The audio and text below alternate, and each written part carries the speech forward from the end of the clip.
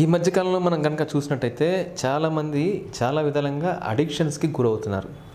అసలు ఈ అడిక్షన్స్ అసలు ఎందుకు గురవుతున్నారు? రీసెంట్గా మనం చూసినట్టయితే పేపర్లో కానీ చాలా చోట్ల వచ్చినాయి. రీసెంట్గా ఒక ఇంజనీరింగ్ కాలేజ్ ఇంజనీరింగ్ కాలేజీలో తర్వాత మెడికల్ కాలేజీలో డ్ర స్టూడెంట్స్ డ్రగ్స్ తీసుకుని దొరికిపోయారు. అలాగే చాలామంది మందుకు బానిస అవుతున్నారు విపరీతంగా తాగుతున్నారు. బట్ అన్నిటికీ అసలు ఈ అడిక్షన్స్కి ప్రధానమైన కారణం ఏంటి? అసలు ఇలాగా ఎందుకు ప్రతి మనిషి దీనికి లోన్ అవుతున్నారు దీంట్లో కొన్ని ఒక థీరీ ఉంది.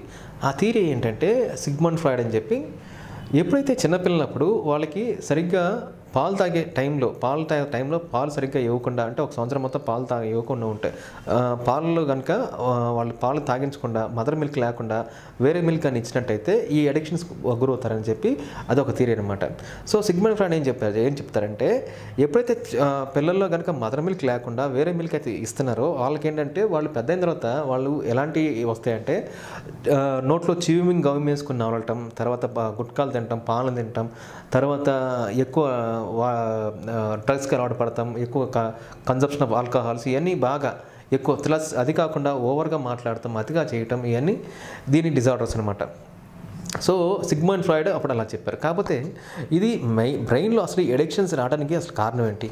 బ్రెయిన్లో బ్రెయిన్లో వచ్చే చేంజెస్ ఏంటి? అసలు ఎలాంటి చేంజెస్ వల్ల వీళ్ళు ఇలా ఎడిక్షన్కి గురవుతున్నారు? అసలు దే ఏదైనా సరే ఏదైనా బిహేవియర్ ఏ బిహేవియర్ అయినా సరే ఫస్ట్లో స్టార్టింగ్లో ఏంటంటే దీన్ని ట్రై చేస్తే బాగుంటుంది కదా ఒకసారి ట్రై చేసి చూద్దాం అని చెప్పి ప్రతి మనిషి వాళ్ళు ఇలా ట్రై చేస్తూ ఉంటారు. సో ట్రై చేస్తున్నప్పుడు ఏంటంటే అది కొన్ని కొన్నిసార్లు వారానికి ఒకసారి అంటారు తర్వాత నెలకు ఒకసారి అంటారు తర్వాత పదిహేను రోజులకు ఒకసారి తీసుకుంటున్నాం అంటారు. కాకపోతే దాన్ని ఇంకా తీసుకున్న తర్వాత దాన్ని కంట్రోల్ చేసుకోలేకపోవటం. కంట్రోల్ చేసుకోలేక ప్రతిరోజు ఇంకా దాన్నే దాన్నే దానే చేయటం వల్ల దాన్నే మనం అడిక్షన్స్ అంటాం అనమాట ఈ అడిక్షన్స్ రావడానికి మన న్యూరో మన న్యూరో బయాలజీలో అసలు ఏం చదువుతుంది ఏం చూద్దాం. దీంట్లో బ్రెయిన్లో ఏంటంటే కొన్ని కెమికల్స్ ఉంటాయి. ఆ కెమికల్స్ అంటే డొపామిన్ ఉంటుంది. డొపామిన్ అనేది ఏంటంటే ఒక అదొక హ్యాపీ కెమికల్ ఎప్పుడైతే మనిషికి హ్యాపీనెస్ వస్తుందో ఎక్కడైతే మనిషికి హ్యాపీ హ్యాపీనెస్ వస్తుందో ఆ మ- అక్కడే మనిషి వెళ్తాడని చెప్పి సో వీళ్ళు ఎక్కడన్నా సరే వీళ్ళు హ్యాపీనెస్ అంటే ఇంకెక్కడ వీళ్ళకి హ్యాపీనెస్ పొందట్లేదు ఎవరైతే ఈ అడిక్షన్స్ బాని బానిస అవుతున్నారో వీళ్ళ వీళ్ళంతా అక్కడే దొరుకుతుంది హ్యాపీనెస్ అంతా. సో వీళ్ళు ఏం చేస్తారంటే హ్యాపీనెస్ అక్కడ దొరుకుతుంది కాబట్టి వాళ్ళు ఎక్కువ దాని మీద స్పెండ్ చేస్తూ ఉంటారు. సో వీళ్ళు అడిక్షన్స్ అయ్యే వాళ్ళు వాళ్ళు చూసినట్టయితే వాళ్ళు వాళ్ళు ఇంట్లో వాళ్ళ పెరిగే విధానం కానీ అక్కడ పెరిగిన ఇళ్ళే కానీ దాంట్లో డిస్టర్బెన్స్ ఉంటాయి.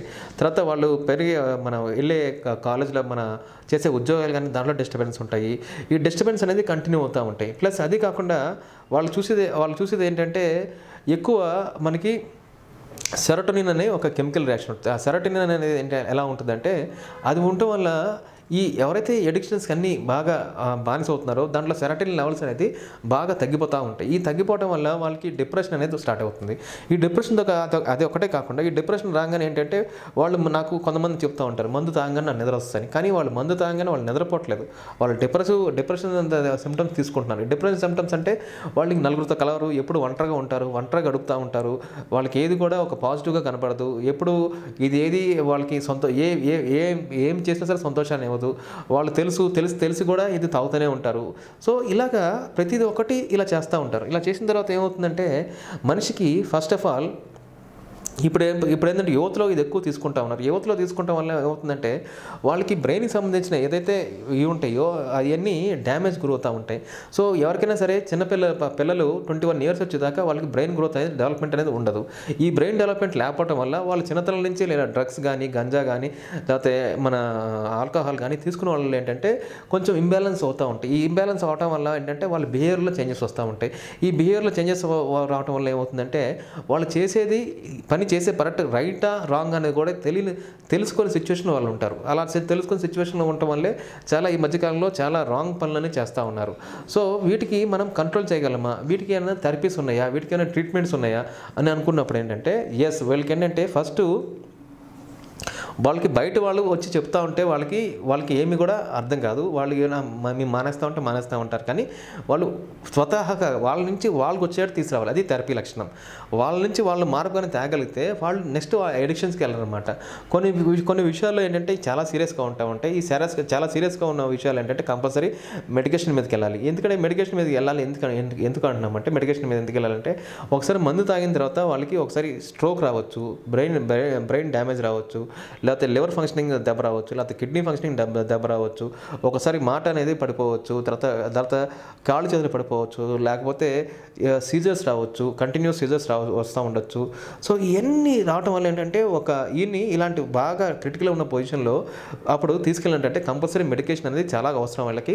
ఒక సెక్రటరీకి తీసుకెళ్ళి సెక్రటరీకి తీసుకెళ్ళిన తర్వాత వాళ్ళకి కంపల్సరీ ట్రీట్మెంట్ అంతా చేయాలన్నమాట. ఆ ట్రీట్మెంట్ ఇచ్చిన తర్వాత అప్పుడు థెరపీస్ అన్ని స్టార్ట్ చేస్తే వాళ్ళు అక్కడి నుంచి ఆ ఎడిక్షన్స్ నుంచి బయటపడటానికి చాలా ఆస్కారం ఉంటుంది.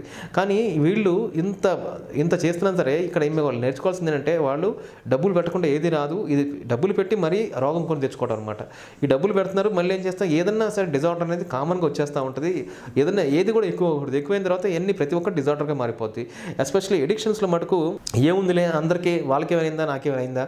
లేకపోతే వాళ్ళకి ఇంత ఇన్ని రోజుల నుంచి వాళ్ళు తాగుతున్నారు కదా ఇన్ని రోజుల నుంచి నాకు మా ఫ్రెండ్స్ అందరూ ఇలా సిగరెట్ తాగుతున్నారు కదా వాళ్ళకేమైంది? నాకు వచ్చేస్తా అంటే ఎవరికి ఎప్పుడు ఏమైంది కూడా చెప్పలేం. ఇలా జరిగిన జరిగినప్పుడు ఏంటంటే వాళ్ళు చాలా లైఫ్ థ్రెటనింగ్ కూడా వచ్చేస్తుంది అనమాట సో ఎప్పుడైతే ఇలాంటి లైఫ్ థ్రెటనింగ్ వస్తున్నాయో అది చాలా డేంజర్ ఫస్ట్ ఆఫ్ ఆల్ ఈ అడిక్షన్స్ అనేది దానికి చాలా దూరంగా ఉండాలి. ఎంత దూరంగా ఉంటే మనిషికి అంత మంచిది. ఎందుకంటే ప్రతి మనిషి తన కెరియర్ అనేది చాలా బాగుండాలని చూస్తూ ఉంటాడు. ఆ కెరియర్ బాగుండడానికి ఆయన చాలా మంచి పనులు చేస్తూ ఉంటారు. కానీ ఆ మంచి పనులు చేసే టైంలో ఇలాంటి ఎడిక్షన్స్ గురవటం వల్ల ఆయన ఏం చేస్తాడంటే ఆ పనుల నుంచి దూరం అయిపోతాడు. అంటే ఫ్యామిలీకి దూరం అవుతారు మొత్తం అన్నిటి దూరం అయిపోతాడు.